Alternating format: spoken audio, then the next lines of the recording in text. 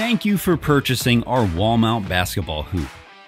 This video will walk you step by step through the installation process of your Gladiator Hoops wall mount adjustable basketball system.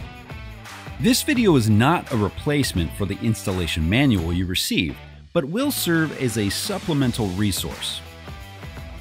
If you have any problems with your wall mount basketball hoop system, please contact us at gladiatorhoops.com or contact the location where you purchased the product.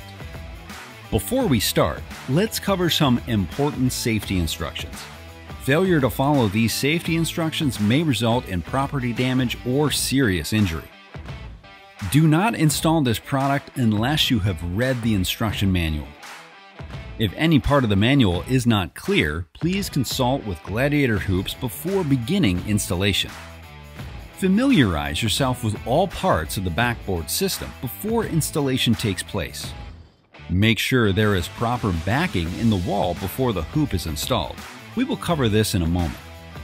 If a ladder is being used during installation, use extreme caution. Installation and assembly of this product requires lifting and bending that can result in injury if you're not accustomed to this type of lifting.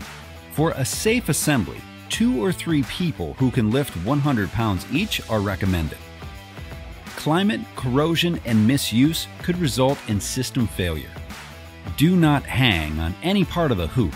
This includes rim, arms, arm supports, wall plate, net, or any other component.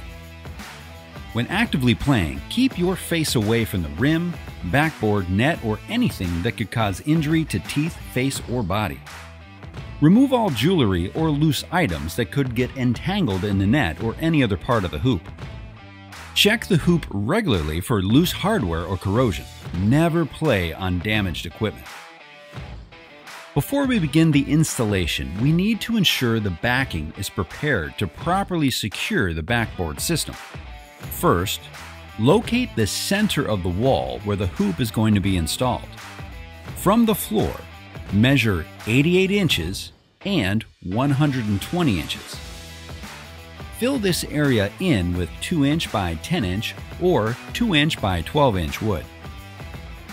The basketball bracket is 20 inches wide. Make sure there is proper backing in all stud cavities that are in this area.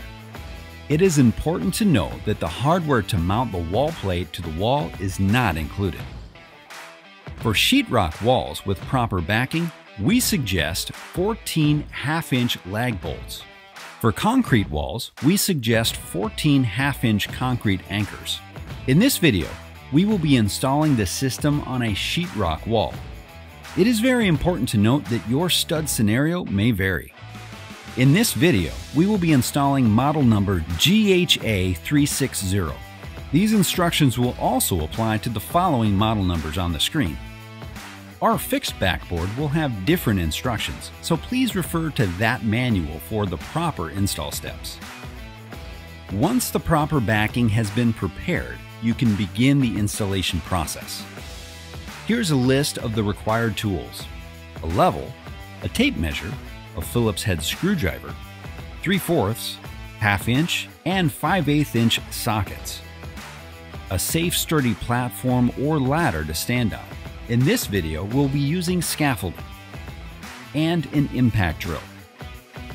Safely carry the box with the base frame and related components and place it in your work area. We recommend laying out all of the components for easy access. Safely move your platform in place to begin installation. Once you have determined where you will install your wall mount adjustable hoop and your wall backing is in place, measure 88 inches from the floor to where the bottom of the base frame will be located. You will need to make sure that the base frame is level both vertically and horizontally. We recommend using two people for this portion. Carefully line the base frame up on the wall using a level to make sure you have proper alignment. Begin to secure the base frame with the appropriate hardware for your mounting surface. In this example, we'll be using 14 half inch by 4 inch lag bolts to mount it to our sheetrock wall. As a reminder, this mounting hardware is a separate purchase. If you are securing this to a concrete surface, we recommend using 14 half inch by 4 and 3 fourths inch expansion bolts. These bolts are included. Now that your base frame is securely in place, you can attach the two lower support arms and the two actuator support plates to the base frame. Secure the lower support arms. The round steel tubing should be on the inside. Do this with the two 5 8 inch by 4 and 5 16 inch hex bolts. At this time, slide on the actuator support plate using the lower hole position. Then install the included flat washers and lock nut. Be sure to firmly tighten the bolts. Now, secure the upper actuator support plates to the base frame tabs on the outside. Do this using the two 5 8 inch by 1 and 3 8 inch hex bolts. Then install the included flat washers and lock nut. Again, be sure to firmly tighten the bolts. As an important note, the actuator plates should be vertical and not angled. Now we will attach the upper support arm to the base frame. We recommend two people for this setup. Secure the arm with the 5 8 inch by 10 and 3 16 inch hex bolt and install the included flat washers and lock nut. Be sure to firmly tighten the bolts. Now we can attach the actuator to the upper support arm. Do this with the 5 8 inch by 2 and 3 16 inch hex bolt. Then install the included flat washers and lock nut. Now attach the actuator to the actuator support plates. Do this with the 5 8 inch by 4 and 5 16 inch hex bolt. Then install the included flat washers and lock nut. Again, be sure to firmly tighten the bolts. Now that the base plate, support arms, and actuator are securely installed, we can unbox the backboard and rubber cushion. Set the rubber cushion aside for step 6. The backboard is very heavy, so we suggest having a third person to assist in lifting it up on the platform. Once the backboard has been safely lifted and is held in place, attach it to the upper support arm using the two 9 16 inch by 1 in 9 16 inch hex bolts. Then install the flat washers and lock nut. As an important note, the backboard tabs are on the outside and the upper support arm tabs are on the inside. Next, we will secure the backboard to the lower support arms.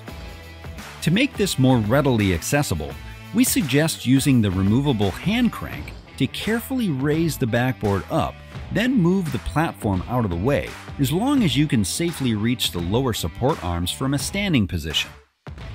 Now using the 5 8 inch by 10 and a quarter inch hex bolt along with the flat washers and lock nut, you can secure the backboard to the lower support arms.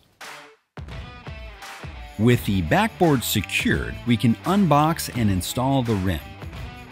We recommend two people for this step. First, we suggest lining up the rubber cushion with the mounting plate on the rim and placing at least one bolt and washer in place to maintain alignment. With the rubber cushion between the rim and the backboard, use the four 3 8 inch by 2 inch hex bolts along with the flat washers, the spring washer, and hex nut to connect the rim and the backboard together. Be sure to use a level as you secure the bolts to make sure that the rim is in proper alignment. Once the rim has been leveled and secured, you can install the cover plate using the two screws provided. Our last step is to carefully place the height indicator stickers to the inner tube of the actuator. We recommend two people for this step. One person can hold a tape measure while the other uses the hand crank to crank the rim to the proper height to apply the stickers. Start with the lowest height indicator first and move your way to the tallest setting. In this scenario, we would start with the 6 foot indicator. Once that sticker is carefully applied, crank the rim to 7 feet, then repeat this process until all height indicator stickers have been carefully applied. An important note regarding the hand crank For your convenience, we designed this to be fast and easy to remove, so you can set it aside until it's needed. That completes the installation process. Now comes the fun part. Enjoy your game, and if you have any questions at all, visit us at gladiatorhoops.com.